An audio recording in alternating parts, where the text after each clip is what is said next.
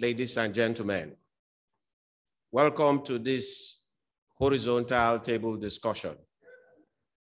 I don't want to confuse people. If I start by saying round table, they'll be looking for the table.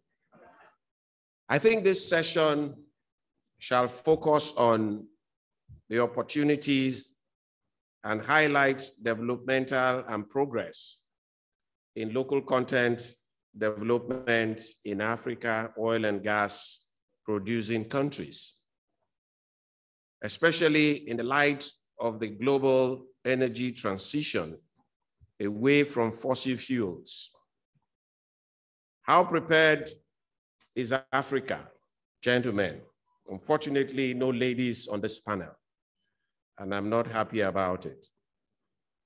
How prepared is Africa to produce, process, and market the over 120 billion barrels of proven oil reserves and over 500 trillion cubic feet of proven gas without Western technology, with, without Western finance, without Western expertise, without Western markets.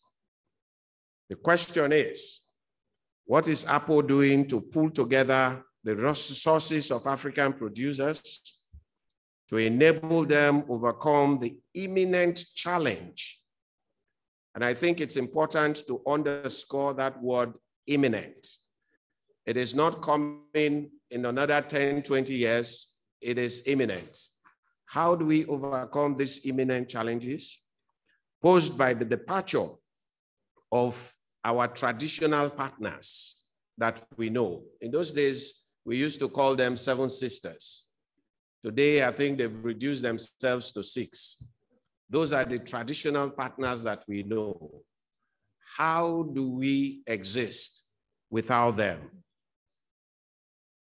Distinguished ladies and gentlemen, the Africa continent today is got 1.3 billion people in the current estimation.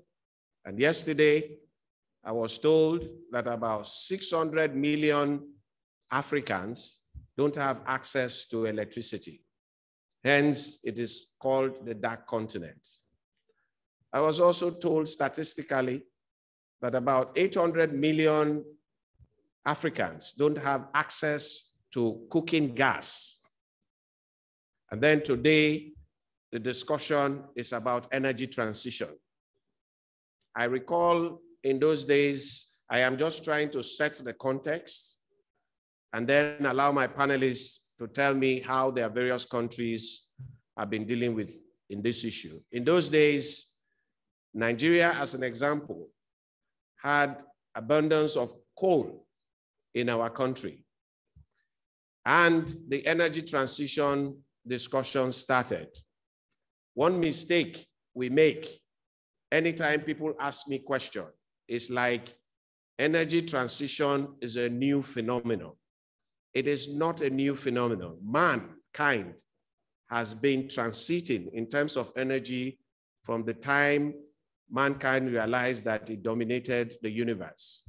If you recall, in those days, the early men when they started and they needed energy, they started burning firewood. They were using wood for energy source in Europe, in America. Hence, today, when you go to Europe, they have cut out down all their trees. And in the process of using coal, I mean, a firewood, they discovered coal. And then they transited from firewood to coal and they told the whole world that the cleanest fuel then was coal and convinced everybody to move from firewood to coal. Nigeria as a country also discovered coal then. We all started heading towards coal. And then in the process, when Nigeria and Africa wanted to get used to the utilization of coal, they say, ah, it is the dirtiest fuel, now it is hydrocarbon and we all started transiting to hydrocarbon. Nigeria had abundance of coal. We abandoned it and we drifted towards hydrocarbon. I am sure other African countries perhaps did the same. Now we are getting used to how to develop these natural resources ourselves. They say, ah, it is the dirtiest fuel on earth. Now let's go to renewables. As I speak, almost 60% of the energy that is required in China is produced through coal. Meanwhile, African countries have abandoned the utilization of coal.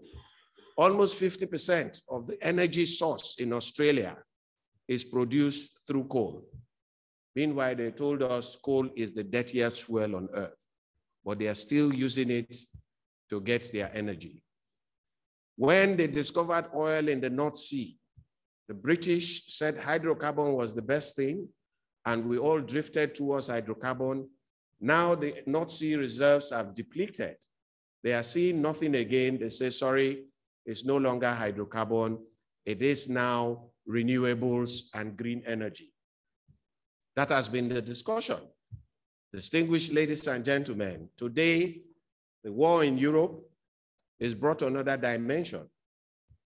Initially, they said, don't stop, don't stop producing gas, stop producing oil. But with the war in Europe, they now say, can we have more gas? Can we have more oil? In other words, for us, distinguished ladies and gentlemen, our energy source is an existential imperative for us in Africa. And hence the question, distinguished panelists, what are we in our individual countries trying to do to ensure that we enhance local content, enhance local participation, because very soon they will take away the funding. Very soon they will take away the technology. Very soon they will refuse to buy our product. Meanwhile, we have the population to consume what we produce. So hence the question, distinguished panelists, I will be now turning to you, having set the context, and then ask you to each perhaps take five minutes or three minutes to tell us how you see this challenge and what you are doing about this challenge. I am not biased, but let me start from Mr. Oyewole. Can I hear from you? Not because he's a Nigerian, but because he's at that end.